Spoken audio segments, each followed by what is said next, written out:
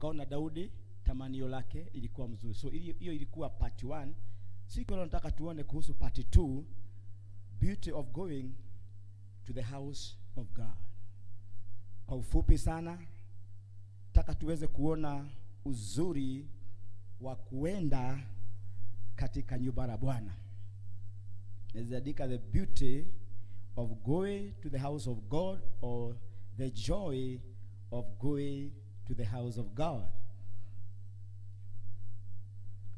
Naomba ya kwamba muweze kufungua nami kitabu ya Luku mtakatifu nne mstari wa kumi na sita kuendelea. So he came to Nazareth where he had been brought up. Remember the topic of our message the beauty of going to the house of God or the joy of going to the house of God.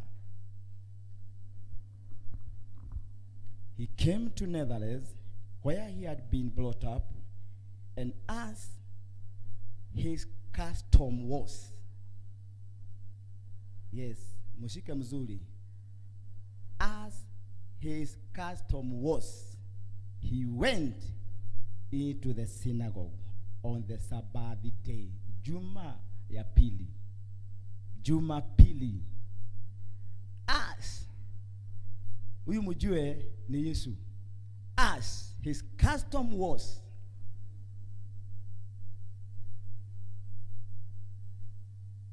he went to the synagogue on the Sabbath day. Custom. And they stood up to read. And he was handed the book of prophet Isaiah. So please, muongeze hiyo kitu because tumie nguvu mingi. He was handed to the book of the prophet Isaiah. And when he had opened the Bible, he found the place where it was written, The Spirit of the Lord is upon me, because he has anointed me to preach the gospel to the poor. He has sent me to heal the brokenhearted, to proclaim liberty to the captives, and recovery of sight to the blind, to set at liberty to those who are oppressed, to proclaim the acceptable year of the Lord.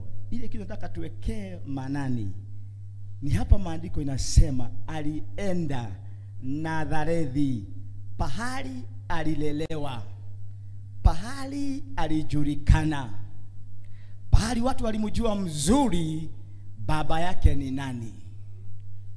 Maandiko inasema hivi, kulingana na desturi akaenda kanisani. Hiyo ndio maandiko inasema.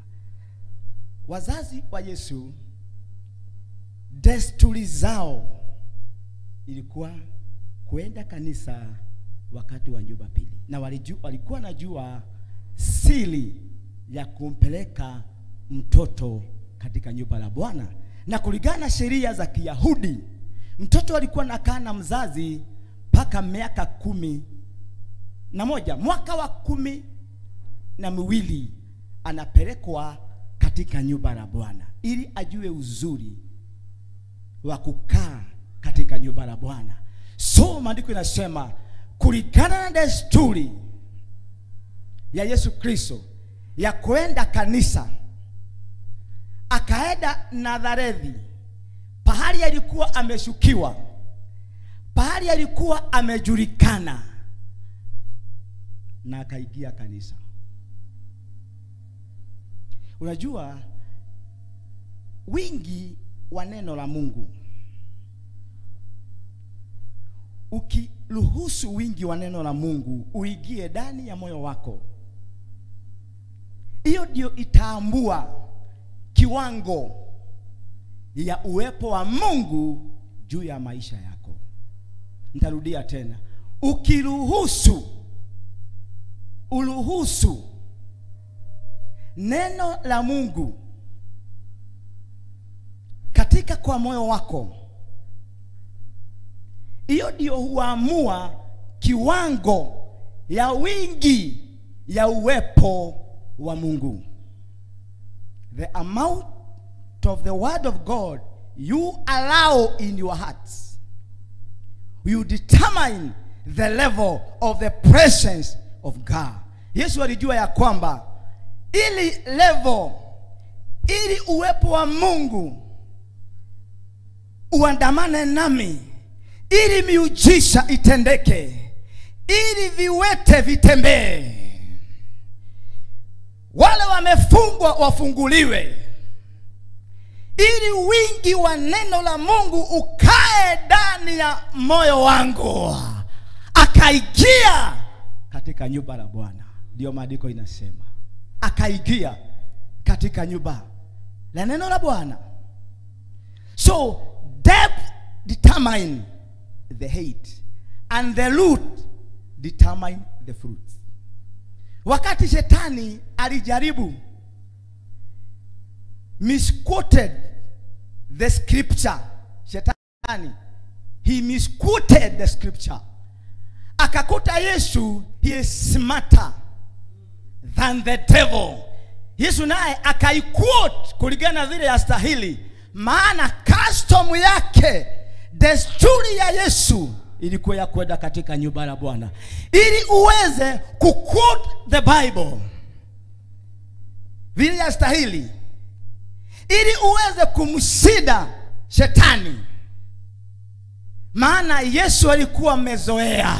Ilikuwa uzoeo wa yesu kwenda katika nyumba la bwana. So mpaka wakati alijaribiwa ibilisi akakuta ya kwamba oh, yesu ni smarter than me. Maana the devil misquoted. Oh god. The joy going the house of god. You will know how to quote the scripture in the time of temptations. You will know how kuambia shetani. So ili yesu aweze kuquote the biblia ili yesu aweze kufungua waliofungwa Je- jesus was the seeker of god presence in the house of his father.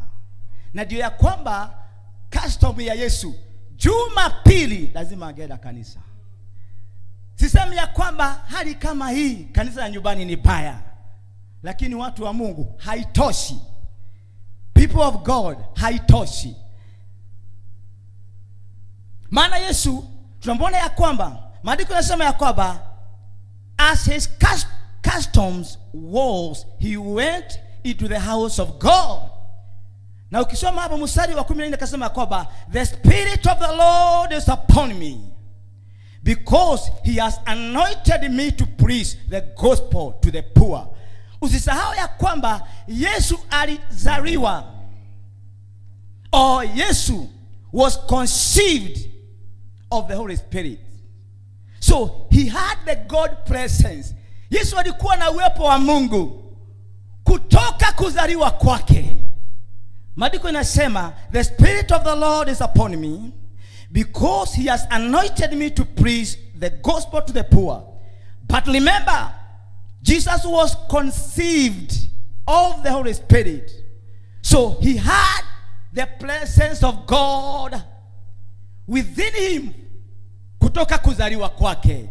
But for him to carry ili aweze kuibemba kuonyesha god presence lazima ageda kanisa. Yesu alizaliwa na nguvu ya roho mtakatifu. Lakini maandiko inasema hivi yesu akasema roho mtakatifu yu juu yangu. Even though alizaliwa na roho mtakatifu yesu alikuwa na uzoefu wa kwenda katika nyumba la bwana ili aweze kupemba ili aweze kuonyesha nguvu za mungu aliye hai lazima angeingia kanisa. Na maandiko inasema ya kwamba akapatiwa kitabu na akasoma akasema ya kwamba the spirit of the lord is upon me because he has anointed me to preach the gospel to the poor. He has sent me to heal the broken heart. Lazima angekuwa na uzoefu desturi yake ili aweze kuwafugua waliofungwa ili aweze kuwainua walio chini ili aweze kuonyesha wanafunzi kuomba ili aweze kusoma neno ili aweze kunena maneno watu wanaoshagaa. Lazima angeenda katika nyumba la baba yake. Custom. desturi nĩgũthiĩ nyũmba ya ngai. Hiyo ni yesu anasema. Sasa je alizaliwa kwa mtakatifu lakini yeye anaona ya kwamba lazima ningeenda. Maana wazazi wake. Unajua zamani tukiwa watoto mama yetu alikuwa anatutayarisha mapema. Mama yetu ndio alikuwa wa kwanza anatutayarisha anatunavalishwa ule mkubwa. Kazi yake ilikuwa kwa anaangalia wale wandogo so ule mkubwa wetu alikuwa anaambiwa ni mama yetu hakikisha ya kwamba hawa watoto wako tayari na wakimaliza kuvaa. Maana kawaida ya kiafrika ni ya kwamba ule mkubwa anaangalia hale wale wadogo. So tulikuwa tunatayarishwa tunaambiwa endeni mbele. Na ndio tume ubali huu tumefika ni kwa neema. Kwa maana desturi ya wazazi wetu tulikuwa tunatangulia. So wazazi wa yesu walikuwa wanao yesu anatayarishwa kwenda katika nyumba la bwana. Yesu kukua kwake alijua ya kwamba desturi yetu vile nilionyeshwa ili niweze kupata ufunuo ili niweze kutia watu walioshishika moyo ili niweze kuitisha nguvu ya roho mtakatifu ili roho mtakatifu aweze kutembea na mimi ili niweze kuonyesha tukale to manifest the god presence lazima niende katika nyumba ya baba. Na ndio daudi akasema psalms 122 verse 2 the sons of david nilifurahia waliponiambia twendeni nyumbani mwa baba. Remember despite for the david to be a king he knew this, the bible says alifurahi wakati aliambiwa alialikwa twendeni nyumba la baba. First samuel ukisoma dhii moja mpaka kumi utaona samuel maana aliletwa katika nyumba la bwana ni mama yake alikuwa nakaa katika nyumba la bwana. Being trained to recognize the voice of god. Samuel alizaliwa akaletwa katika nyumba la bwana. He was trained to recognize the voice of god in the house of god. Hapo ndio pahali unaweza jua mwanadamu ni nani ananena na mungu ni nani anayonena maana samueli alikuwa anasikia anaitwa anaenda kwa Eli, anamwambia umeniita. Akaambia rudi sija kuita tena akasikia maana alikuwa anazoea akiwa nje sauti ya mwanadamu lakini akiwa katika nyumba la mungu he was trained to recognize the, the voice of god and the voice of men. Maana kuna sauti ya watu na sauti ya mungu na sauti ya mwili na sauti ya ulimwengu. Samuel alikaa mama yake alikuwa anaenda anapeleka kaguo atwaraga kuo o mwaka o mwaka. Akinena samueli aikale thĩinĩ wa nyũmba ya ngai. Because in the house of god he was trained to recognize the voice of god eh, nasema nani ananiita? Ah, sauti. Mzee hasikii. Lakini kijana mtoto mdogo wa umri wa miaka kumi na mbili anasikia sauti. Nusiolajita say in the house of God, very easy. To recognize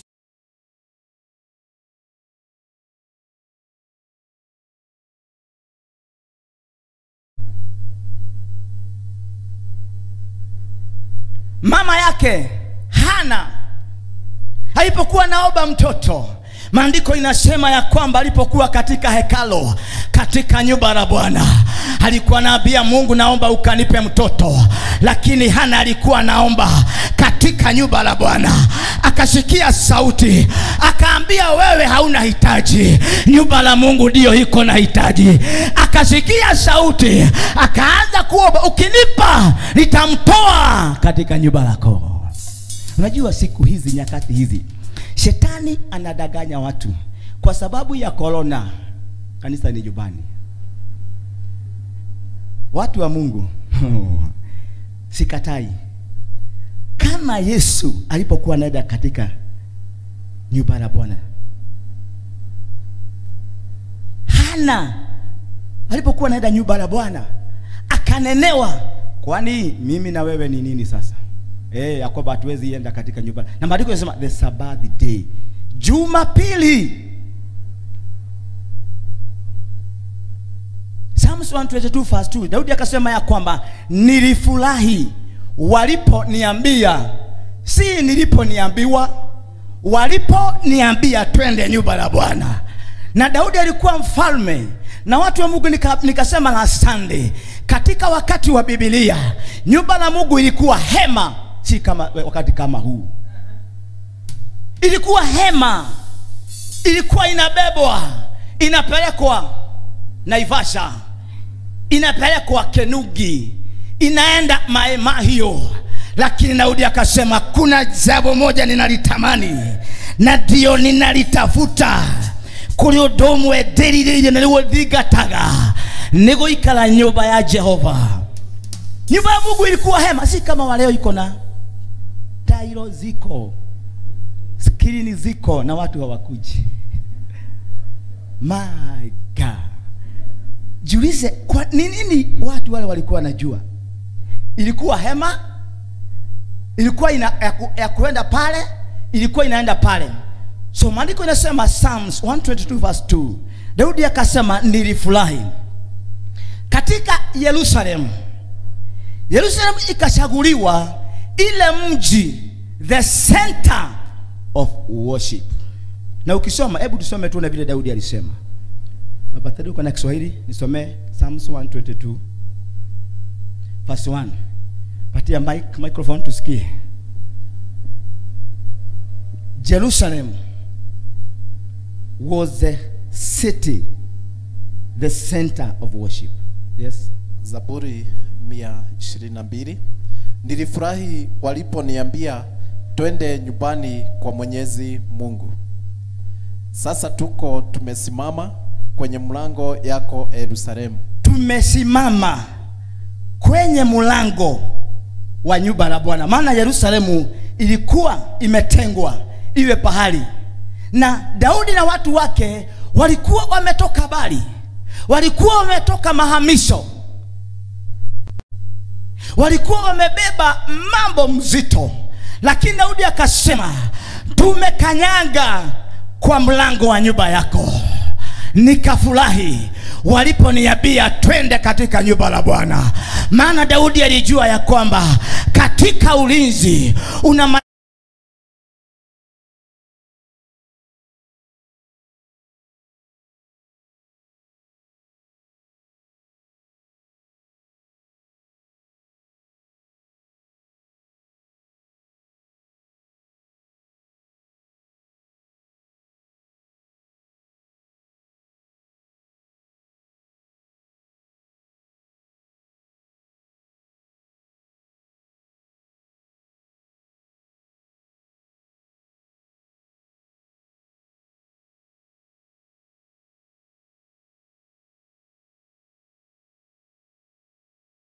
namna hii, wakati mnanawa mnajitayarisha kuingia katika nyumba la Bwana, mnaogea, unasema nisamehe, nilikukosea, tafadhali endelea. Mstari wa nne. Humo ndimo makabila yanamfika naamu makabila ya Israeli kumshukuru Mwenyezi Mungu kama ilivyoagizwa. kushukuru Mwenyezi Mungu kulingana na vile iliagizwa. Mungu ametutoa bali, Mungu ametupigania katika nyumba la Bwana. Ni pahali pa kutoa shukurani, ni kusema Mungu, tumetoka mbali, hapa tumefika, ni mkono wako. Umetupigania. Mungu, tumeona ukitupigania vita. Wengi wamelala kaburini, wengi wamemalizwa ni COVID-19, lakini Mungu, tumekuja katika nyumba lako, tumesema ni asante, tumetoa mili yetu kama dhabihu katika nyumba yako maana nyumba la Mungu ilikuwa pahali pa shukulani, kusema ni gai nikolo nikulio tukinyite tuga wewe wi Ebenesa, tuga wewe Ebenesa nikulia tumite na kulia turathie. Endelea. mstari wa tano. Humo nime, nimeweka mahakama ya hukumu ya haki. Mahakama ya ukoo wa kifalme wa Daudi mahakama, tatizo, makesi katika nyumba la Bwana inaangaliwa wakati watu wamekupeleka kotini, wakati mambo shetani ameenda kukusitaki, wakati amekupeleka mbele za Bwana. Maana maandiko inasema ya kwamba wakati watakatifu walienda mbele za Mungu, naye shetani akakuja kuwa tustaki si tunakuja katika nyumba la Bwana. Twasema, Baba, kumbuka kazi ya msalaba. Ulela gai ririkana mutharafa ririkana thakame yaitikire ririkana kuhurwo wahurirwo ririkana gukuithio mutharaba kumbuka kazi za msalaba. Ya Yesu akiwa mbinguni, Mungu akiwa mbinguni, wakati wanakustaki naye pamba anaangalia msalaba. Weraga ngai ririkana wera warutire oh jesus. My god. Endelea. Mstari wa sita. Uombeni Yerusalemu amani. Wote, Yes. wote wakupendao na wafanikiwe. Wote wanayekupenda. Wote wanayekusukia wote okujeni katika nyumba la kuabudu. Tuombe amani kwa ajili ya nchi yetu. Tuombe amani kwa ajili ya vijana wetu. Tuombe amani kwa ajili ya waume wetu ya wake wetu. So amani inapatikana katika nyumba la bwana pahali pametengwa pahali pameinuliwa pahali pamemwagiwa mafuta watu wa mungu. Ukitaka amani kuja katika nyumba la bwana. Mstari wa saba ndani ya kuta zako kuwe na amani. Ma- ndani ya kuta zako wakati unakuja katika pahali hapa dhini wa thingo ciaku. Maandĩko makauga nĩ kũrĩkoragwo na thayo. Pia kama hakuna katika amani juu ya nyuta za doa zako juu ya nyuta ya watoto wako juu ya nyuta ya ulezi watoto juu ya kazi yako juu ya nyuta zako kutakuwa na amani katika nyumba la bwana. So kanisa kuja katika nyumba la bwana. Maana kuta zako kuta za kazi yako kuta za biashara yako kuta za watoto wako kuta za ndoa zako zitakuwa na amani. Watu wengi huenda kwa manabii wa uongo wapate amani. Watu wengi huenda na kuku nyeusi wapate amani. Na ndio mtu mmoja katika bibi joshua alisema niye na nyumba yakwa. Joshua niguigire wakati aliona mambo vile iko watu wameenda kwa manabii wa uongo. Watu wamekaa nyumbani hawaendi kwenda kuabudu bwana. Lakini joshua mwana wa nuni akasema mimi nimeapa nimekura kiapo. Iwe isiwe liwalo. Mimi na jamii yangu tutamtumikia mungu. Mstari wa nane. Kwa ajili ya ja, jamaa na ndugu zangu Yerusalemu ni nakutakia amani. Kwa ajili ya jamaa kwa ajili ya watu wetu. Watoto wetu wanakula shida. Kama umeona nikimwombea hapa huyo mtoto. Eh? kwa ajili ya jamii zetu ni jukumu la kila mkristo kuja nyumba la bwana kulia na kuambia mungu nimekataa. Wa kwanza amekufa. Kanisa wakati walio na james ameuawa. Peter ameshikwa.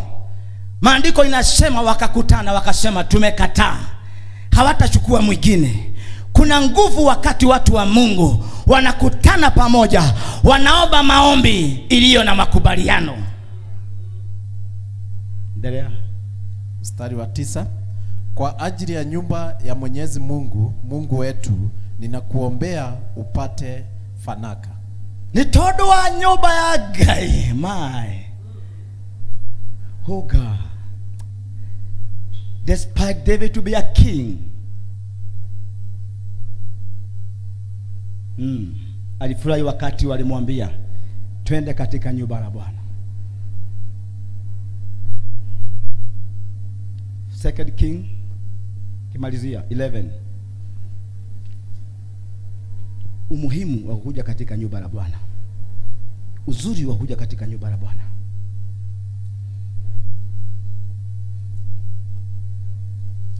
Second king verse 11 nisomea baba tedi kiswahili. Chapter? Chapter 11 chapter 11 sorry. Second king chapter 11 kuanzia hapo mwanzo. Wafalme wa pili kumi na moja kuanzia mwanzo. Mara adharia mamake mfalme ahazia za jamii yote ya kifalme. Huyo alikuwa mfalme, mama yake akaona ya kwamba mfalme mtoto wake ameuawa na alikuwa mfalme.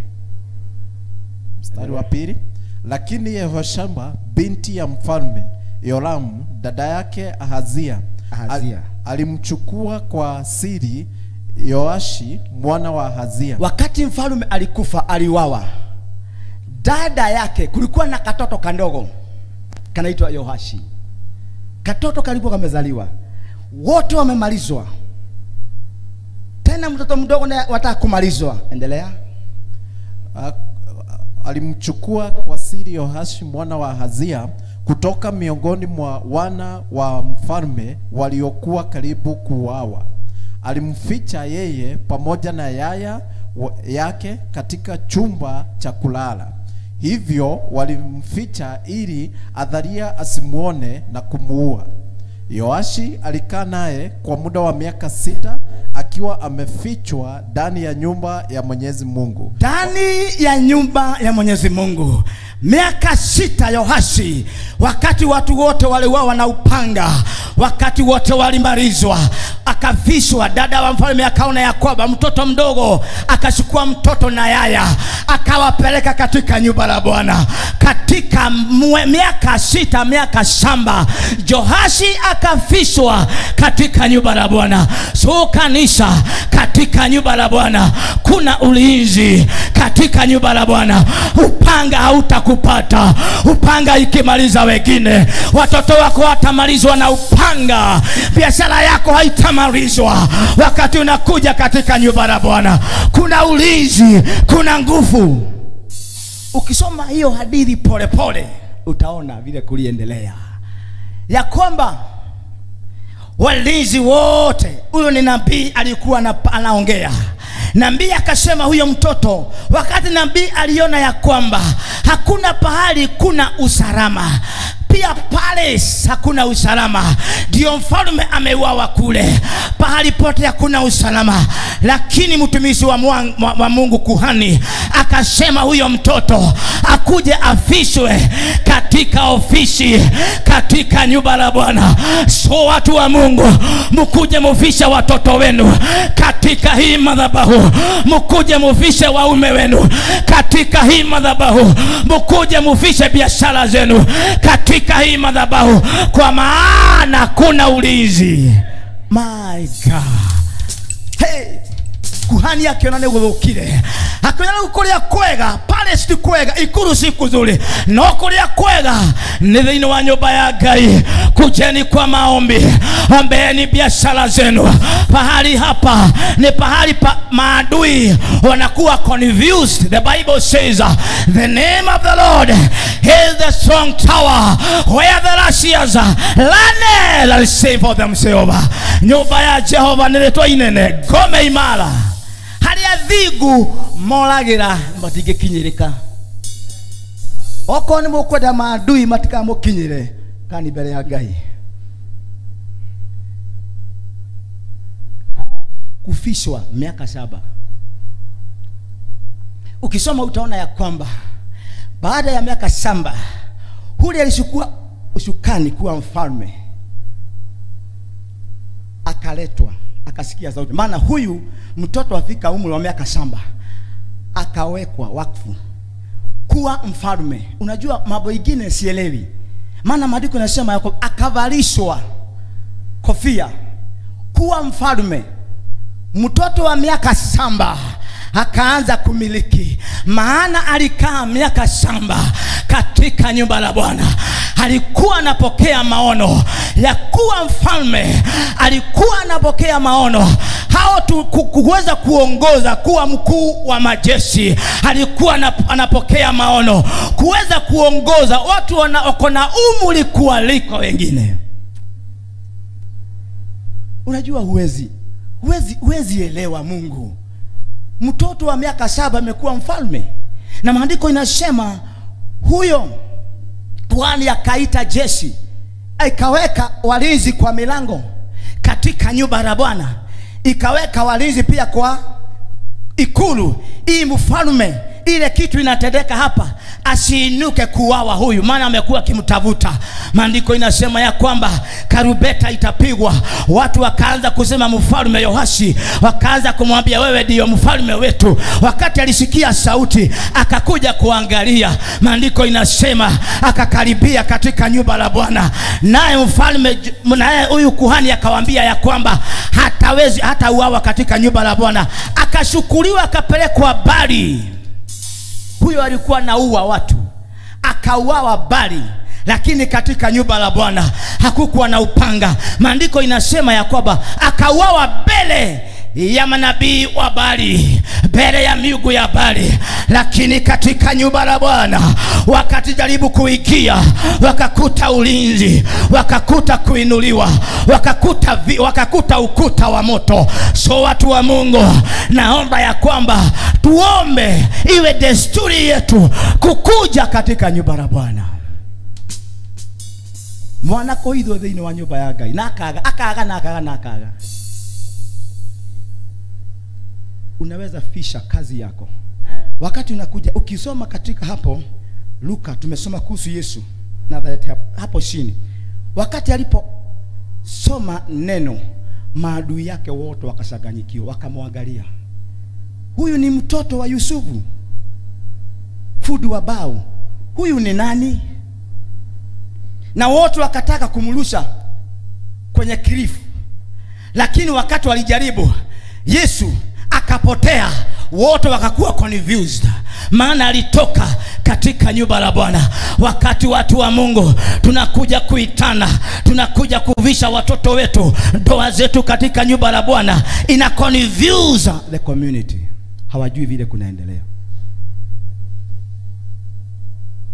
Desturi katika nyumba la bwana walimwangalia. Unajua mwaka wangu wa kwanza kwenda japan nikakuta kujua japani wako na their own kasha their own kasha na wakati kitabu niweza kuzoea hiyo kasha na kasha moja inishangaza sigeepuka. Ni wakati mnaenda kuoga mwili. Mtoto mdogo wa mwanaume mvulana kuna kitu kinaitwa steam bath kitu kinajengwa kinawekwa maji kama hii mbele hapa. Mnaenda watu wa hapo mnaenda na mnaenda ushi. Baba tedi, katoto kadogo mnaenda nako. Ushi unaweka guo pale kanaweka guo pale mnaenda nyinyi wawili. Their own kasha. Kama ni mama katoto kake kadogo kamsana na yeye wanaenda ushi, kama vile kuna show ladies na gentlemen, hiyo tu. Nikaambia hii ni kasha levered hiyo katoto kadogo kanakuita guka unakashika mnaenda. Ushi.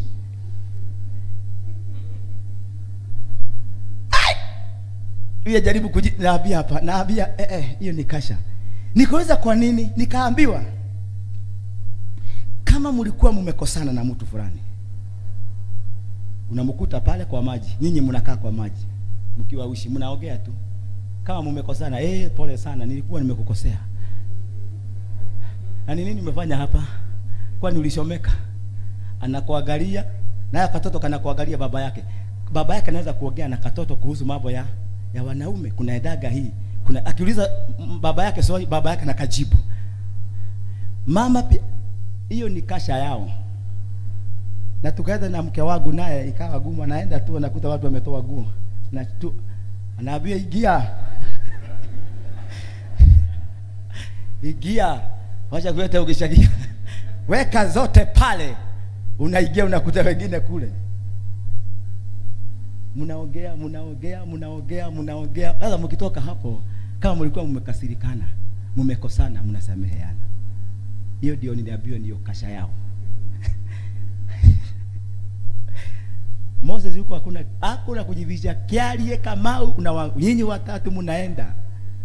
Na baba naenda kuoga mwili. Wanakuuliza maswali kama mjafika pale mnaongea baba saiguo mliwasha bali hiyo ndio kasha ya Japanese. Ba mtoto anakuuliza maswali mengi anakuangalia na kutazama hata wewe unaambia vile kunaendanga ukifika huu mumuli unaendaga hii. Ukifika hapa unaendaga hivi. Kuna mwili una shage unakuwa hautakuwa mtoto unakuwa mwili wa mtu mzima. Hiyo katoto kanajua mambo yote. Kasha customs zao. So wakati watu wanakuja katika nyumba ya bwana watu hukosana na mambo mengi. Lakini the moment tunaokuja nyumba ya bwana ulikosea baba kamau. Unamwambia I'm very sorry. Nilikukosea. Ninaomba unisamehe ulimkosea unaona yeye hajakasirika yeye anaendelea kufurahi anaendelea kuibia yesu anaendelea kumwibia bwana. Pia wakati mariamu mtoto wake alishikwa hakukosa desturi yake ni kwenda nyumba la bwana kusema yesu ni mwema. We gai wewe gai we gai nadoshejagia mungu atubariki sana. Ende msome hiyo maandiko sitaki kuendelea kwa sababu ya wakati. Ende usome pole pole ujue faida ya kukuja katika nyumba la bwana. Yes yenyewe kuna korona watu wabudie nyumba lakini ujue shetani ameodoa hii. Watu kukuja hasikuja nyumba la bwana. Lakini maandiko inasema yesu desturi yake ikawa kuenda katika nyumba la bwana. Sare ni adhi ya kanitha Hageweza kuset walioshikwa mateka waliofinyiliwa free. Kama hage ama kabla haja kama hadaingia katika nyumba la bwana kwa uwepo wa bwana. Mungu atubariki tusimame